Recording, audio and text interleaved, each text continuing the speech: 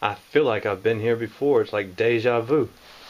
Look, I gotta unsweat every one of these and then sweat them onto to here. And then unsweat that one and sweat it onto there. Hmm. Deja vu.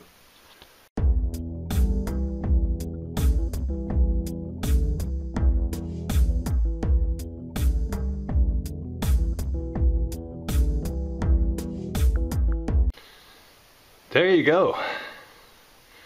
That is uh, the GeoXL that has a refrigerant leak in the evaporator that looks like it's going to be a pain in my tush to get out. So we'll see how this one goes. But from the looks of it, it's going to be a job. So I have assessed the damage and the coil, I had to take this return plenum down. Um, and I had to disconnect this duct right here because it runs back that way. The blower and uh, the coil are just on the other side where that trap is there. That trap right there. Um, so I had to get in that little area right there. And I think there's enough room for the coil to slide out. It doesn't look like it is, but I measured it. And so it starts right there at the edge of the return plenum and goes to over there. So I'm hoping there's enough room to pull it from from there to the wall and get the thing out. But but it's definitely not going to be a fun job to do. Uh, wow. Wow, wow, wow, wow, wow. Geos. You gotta love them. Alright, as you can see, I kind of cleared my space out. See, there's the, the blower. And there's a wall behind me. Uh, there's a little cap that goes on the top there. So I was able to get it out. And, uh, you know, I hadn't got the coil out of the truck yet. So I believe right there.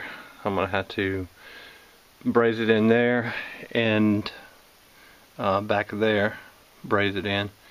Uh, of course I'll take the blower housing and motor out and the electric strips there so I have plenty of room to crawl inside there. And then I'll be able to lift this thing up slide that coil out slide a new one in put everything back together. So but there's my return. I disconnected it from right there. There's ductwork. The almighty ductwork.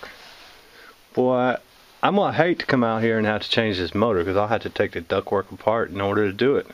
To get the motor out. What are you gonna do?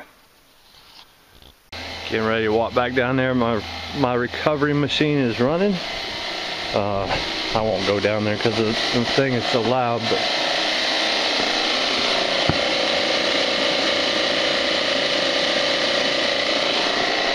what a nightmare.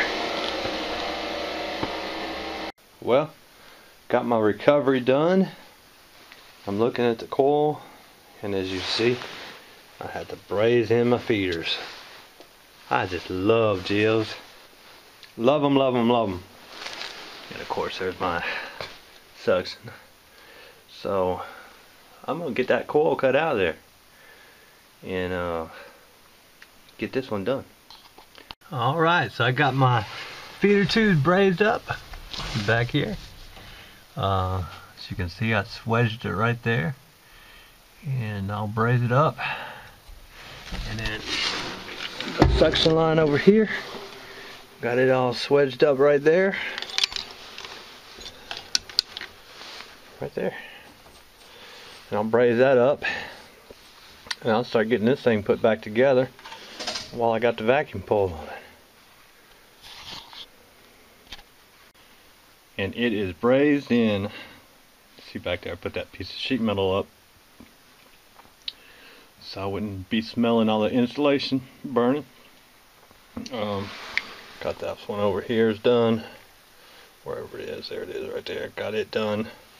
Uh, hard part's over with now, fellas. Now I just get to put everything back together. Wait a second. I just said the hard part was done. Putting everything back together is the hard part. The easy part's over. You know what sucks about this job the most? And no, it's not having to pull down the return plenum, disconnect the ductwork. It's that after you get the return plenum up, you realize that the thermostat wire that was hanging above the return plenum is now drooping below the unit. So now I got to disconnect it, rerun it, which is no big deal, but you know, you get almost to the end of a job and you just create work for yourself. That's the worst part of the, the job.